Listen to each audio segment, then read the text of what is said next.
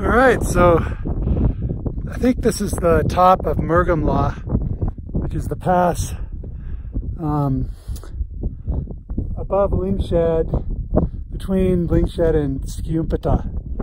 And uh, right here is the meadow or the hill where Wyan and I made goofy gangsta signs uh, while we were hiking this last year. And uh, there's that spiky mountain that Cargill, I mean that uh, Narak is behind. And uh, looks like a pretty awesome canyon down there. But uh, pretty sure it's not passable by anybody. Uh, it doesn't look like there's any trails going down there. The trail we do see, that's the trail to Skumpeta, which is below Gonma, a bigger town. But I'm going to Gonma.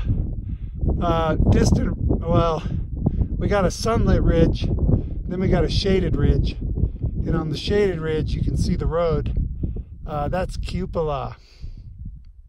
That's where Wyan and I spent the night last year uh, in a tent. Got picked up by a taxi. and around the corner of that ridge, the road goes kind of flat.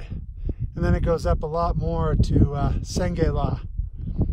So I'm about to start down the road unless I find some sweet, sweet single track. And then I'll do that instead. But, uh, yeah, this was nicer when there wasn't this shitty road here. But anyway, bye-bye.